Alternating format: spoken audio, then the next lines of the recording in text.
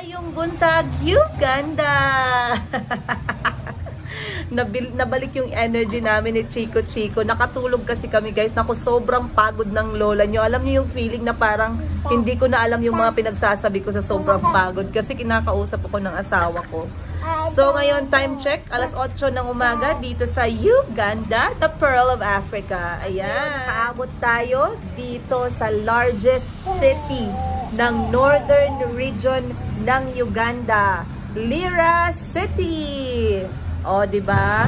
Well, ang nakita ko dito sa Lira City, guys, uh, nakapagpa-amaze sa akin kasi mga first time kong nakita sa dalawang taon ko dito sa Uganda. Pansin ko, may mga products sila dito na source of income nila ay yung kanilang cotton plantation at saka madami din silang sunflower garden. Ayun, source ng seed at saka oil.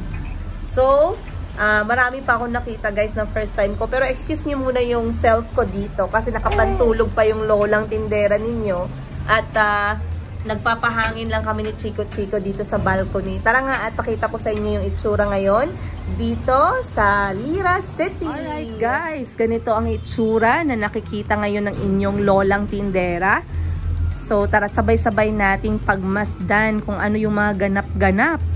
Uy, Prestige Driving School. May nagle-learn ng driving. Very good yan, kuya. Mag-learn ka ng maaga. Yan. Galing naman ng sasakyan nila. I like the color. So, eto nga pala yung main town ng syudad na to. Napapansin ko marami pang tindahan yung sarado. So, most probably in an hour or so, magbubukas na sila. Ayan. Pero nakikita nyo, nagsisimula na yung mga boda-boda drivers. Nagaantay na sila ng mga pasahero. Samantalang yung iba naman ay nagsastart na na mag-get on sa kanilang buhay. Si kuya nga ayun oh, nagpapajack gamit ang kanyang kamay. Ito palang tinutuluyan namin ay merong solar. Nakapag-solar sila ng konti. Tapos dun na side naman, yung green ay ang gasoline station malapit dito sa hotel.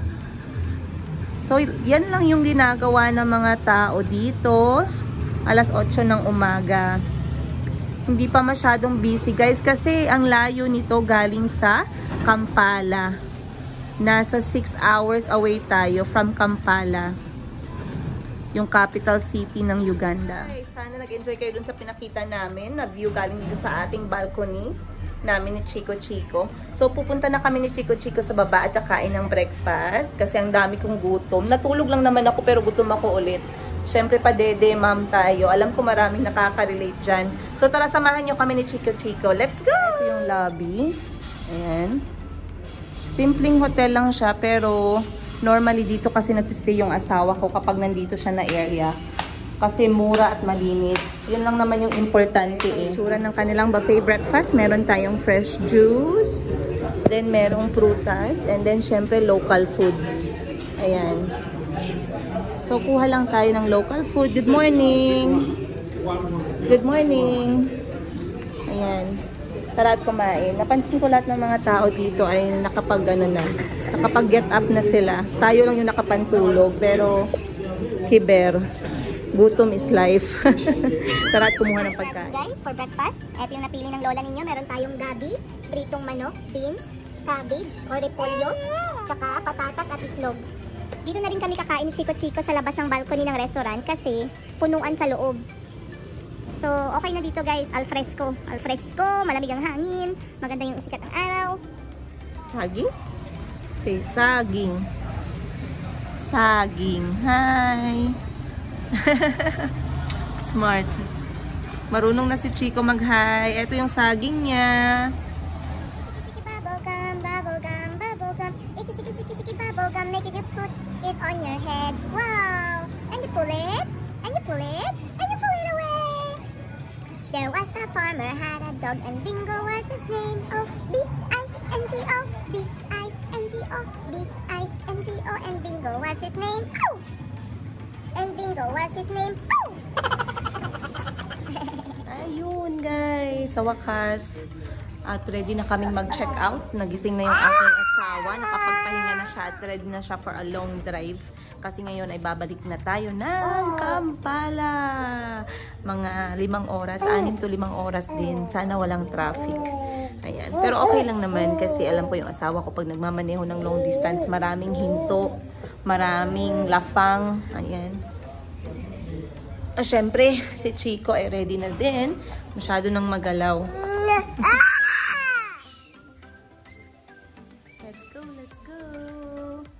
Nakatulog kami ng maayos. Sobrang pagod kagabi. Business has started.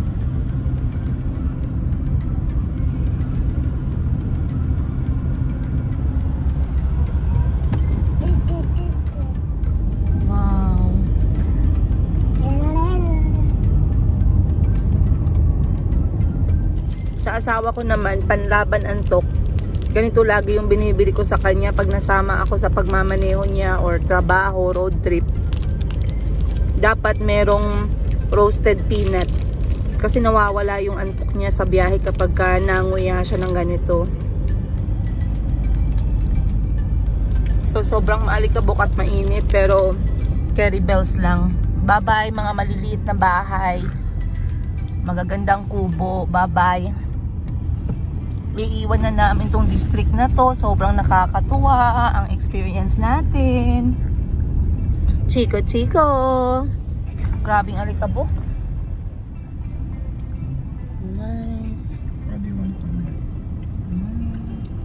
I want to make soursop juice, so if you have enough, it's okay. But if you don't have enough, you better get the... Are you sure? Dumili yung asawa ko ng orange. Boss, let me call you back. Kasi ang dami naming may sakit sa bahay. Mm, ganyan sila magbenta So, dito, guys. Ng mga harvest nila. O, di ba? Galing. Okay, guys. Nahinto tayo dito sa may tabi ng daan para makabili ng mga gulay at prutas para sa bahay. Ayan. Saan ba ako nakatingin? sa damuhan. Andito pala yung camera. Okay. So, sa likod ko ngayon, nakikita niyo yung napaka-simple at napaka-peaceful na komunidad dito sa Africa or dito sa Uganda, the Pearl of Africa. Ayan. So, syempre, sa harapan nitong community na to ay merong source of income na palengke. So, tara, tingnan natin anong mabibili natin sa palengke. Jebaleko! Pepper.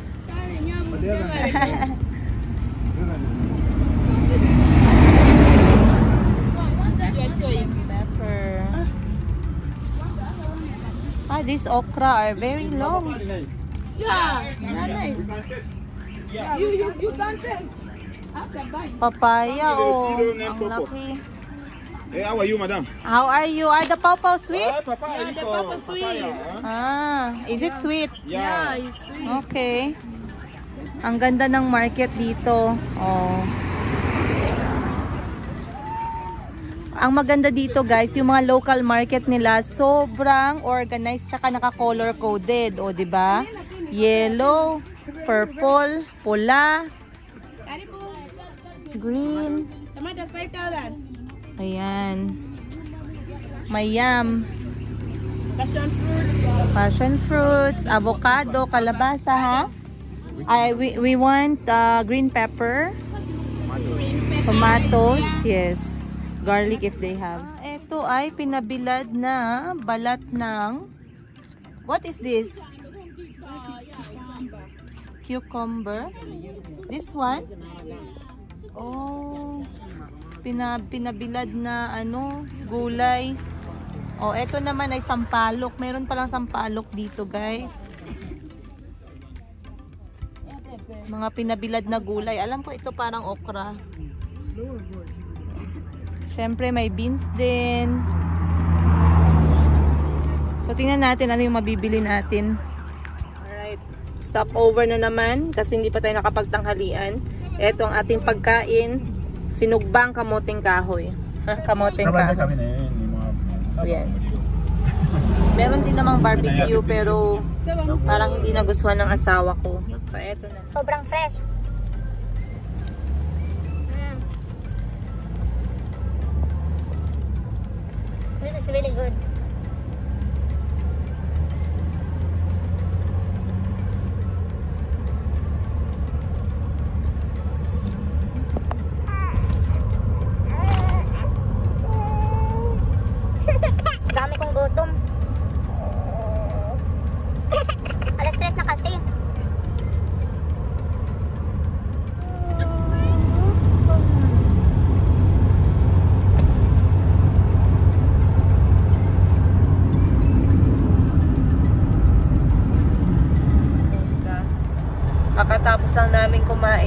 Nakahinto kami sa isang fuel station na merong restaurant. Nakakain kami doon at least. At least, pero ngayon, inaantok na itong lola ninyo. Ayan na si Chico Chico, pinade pinadede ko lang pero nakatulog na din. So, may mga tatlong oras pa tayong natitira para marating yung bahay.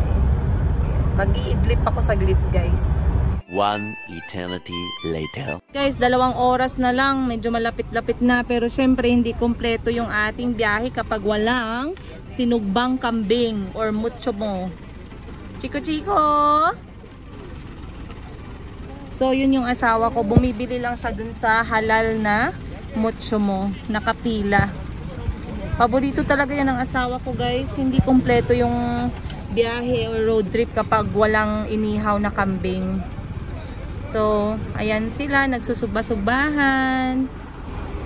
Marami din yung bumibili. At time check ngayon, alas 6 na ng gabi.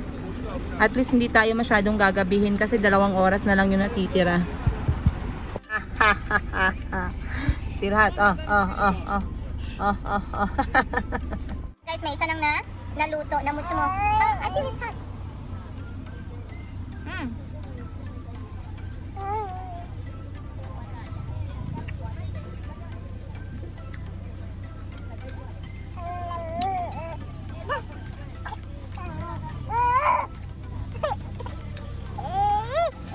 Guys, diretsuhan na yung uwi namin. Meron pa tayong ano, mga mini destination. Ayan.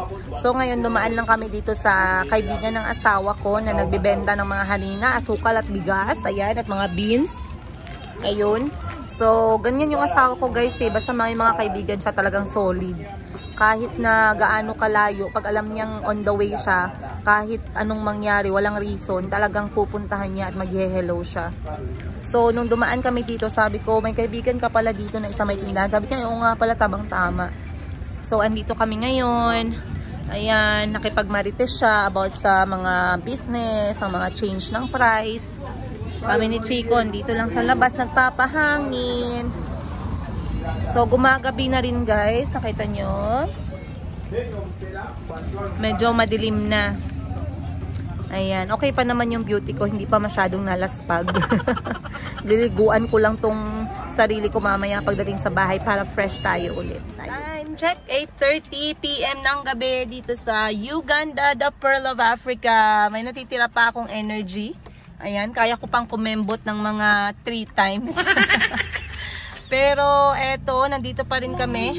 Um, mga isang oras pa siguro ang natitira kasi ilang beses na kaming huminto para maglafang ng asawa ko. Ngayon ay nag-toilet break lang, nag-toilet break lang siya. Ako naman ay magsi-stretch ng paa at bibili siguro ng tinapay para sa mga bata. Kasi bukas manami akong gagawin. So, pinatu tinawagan ko na si Auntie Christine at kinausap ko na na kung pwede ay patulugin ng mga bata kasi bukas maagang maaga pa yung aming activity. Meron silang uh, Islamic classes, pagkatapos merong dentist, ayun. Tapos dadalhin natin sila sa labas at makakapag-bonding-bonding tayo with my bujinggits. Kuya Nasri, Kuya Kahil, Kuya Ali, Kulit Kolot, and Chico Chico. Alam niya na yung pangalan niya. Guys, say hi first. Hi! Say hi! Hi! Smart boy. Uh-huh. Say mama, be. Mama.